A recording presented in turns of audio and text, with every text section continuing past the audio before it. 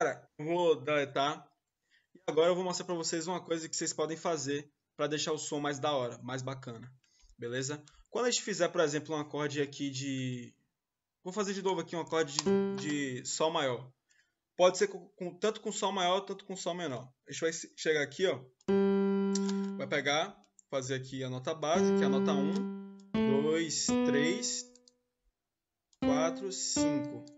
E aí quando a gente for para a sétima, que é 6, 7, a gente vai pegar essa, mesma, essa nota sétima e a gente vai colocar ela uma oitava abaixo. Ou seja, isso aqui é só é Fá sustenido.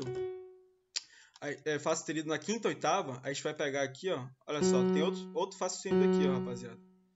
Na quarta oitava. Mas eu quero mais grave ainda. Então eu vou pegar esse aqui, ó.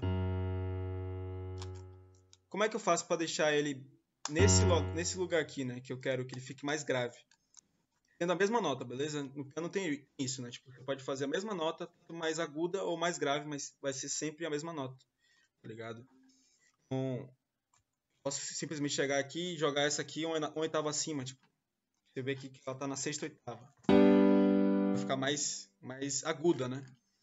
Agora eu vou mostrar ela mais grave, você vai ver o peso que dá e como fica bonito. Eu vou descer aqui, eu tô descendo só para mostrar o comando para vocês, é Ctrl setinha para baixo. Vou colocar aqui duas oitavas abaixo. Você vê, é o mesmo acorde, rapaziada.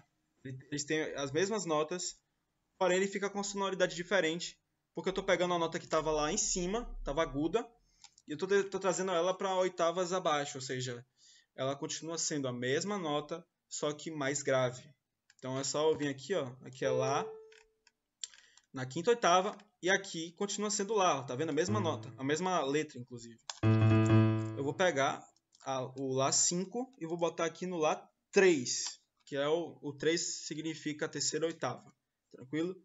Então, ó. Ah, beleza, Monte Cristo, bacana, mas e aí?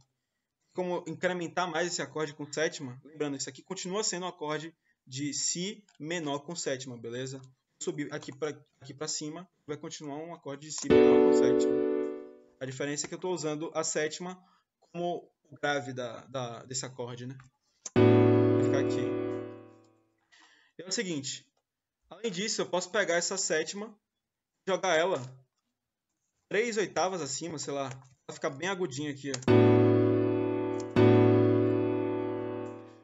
Posso pegar essa nota aqui e jogar uma oitava acima vai ficar esse acorde longo pra caramba. Aí se a gente desembaralhar isso aqui, vai continuar sendo aquele mesmo acorde que tinha feito. Então isso é muito interessante e vocês podem usar ao seu favor. Só. Fica a mesma coisa, rapaziada. Só que com sonoridade diferente.